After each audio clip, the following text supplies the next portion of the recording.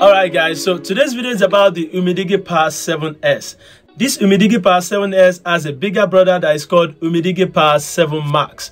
That has 10,000 milliamps battery and some other features like that. But in this video I'll be sharing with you the unboxing and review of this Umidigi Power 7S and how this guy fared with me in the last few days. So if you are new here a subscribe to the channel is much appreciated as I do a lot of reviews on smartwatches earbuds and sometimes smartphones. So if that really interests you please consider subscribing to the channel right now. Hit that notification bell by the side so that you can get notified once I post a useful video like this one without wasting much of your time, let's get down to business. Okay, let's start with the price.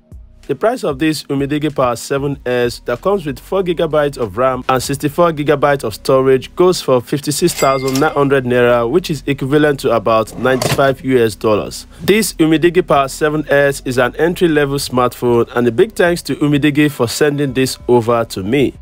It has 6.7 inches display that caps at 720p, which is good enough for YouTube videos and other media content consumption. It also has a monstrous 6150 mAh power battery, a 16 megapixel main camera that gives nice looking shots like this. I know this is not the best picture out there, but this looks nice, right? With that being said, it also has some few weaknesses which we'll be discussing about in this video. Quickly, let's see what's inside the box. The Umidigi Power 7S comes in three colors. We have the Sunbeam Gold, the Reef Grey, and here is this one, the Atlantic Blue. The back looks beautiful with the Umidigi logo imprint moderately at the rear.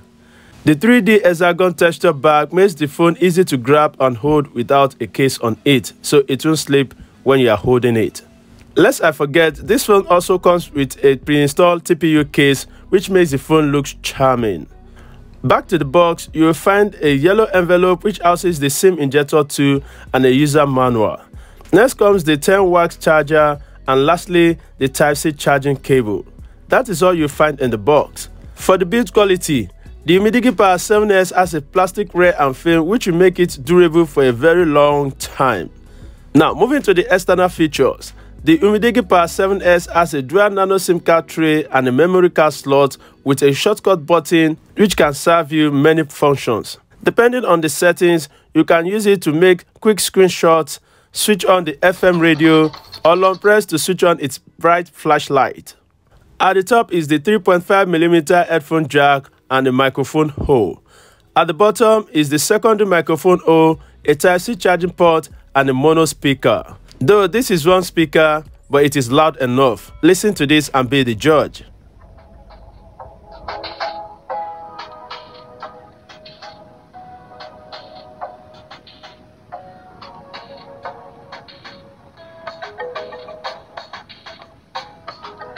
And moving to the right side of this smartphone, you'll find the volume and power button. Taking a look at the power, this is not a fingerprint scanner, just a normal power button. But in place of the missing fingerprint feature, Umidigi plays the face unlock feature on this phone which I find very useful. It unlocks the phone even in pitch darkness. Now, switching to the rear, the Umidigi Power 7 has a 2 camera, 60 megapixel main camera and 8 megapixel ultra wide camera. Both cameras help you to have a broader perspective landscapes without you stepping backwards and the LED flashlight helps the camera to take a sharper and clearer picture possible at night. Back to the front, in this Dutch notch lies the 8 megapixel camera for selfie and video recording. Now, moving to the display, the Umidigi Power 7S comes with 6.7 inches HD that caps at 720p. It is okay for indoor use, but when it comes to direct sunlight, it is not very bright. Watching live streaming services and movies like YouTube, Netflix, Iroko TV are all good on this smartphone. In fact, this smartphone has same screen resolution with the Umidigi A13 Pro which I just reviewed some couple of days ago. So this is still good enough. Let's talk a bit about the processor. This Umidigi smartphone is powered by an Unisoc T310 processor which is processed by TSMC 12 nanometer FFC process.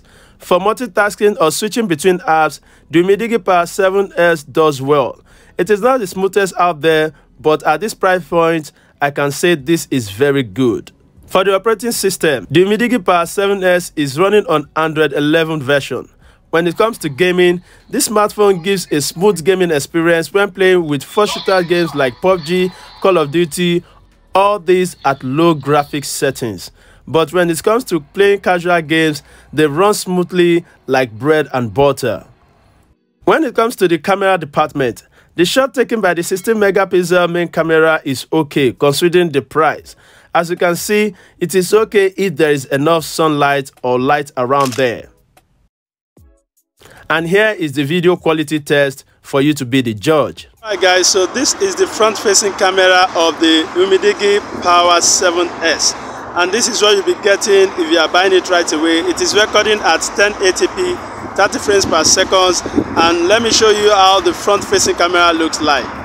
Alright guys, so this is the front facing camera of the Umidigi Power 7S and this smartphone is recording at 1080p 30 frames per second let me know your thoughts down there if the video quality is okay or not and i'll see you in the comments let's continue with the video moving over to the battery department this smartphone comes with 6150 milliamps battery capacity which can last you for two days if you are just an average user but if you are a gaming person that browses a lot coupled with consuming media content, then this should last you for the whole day.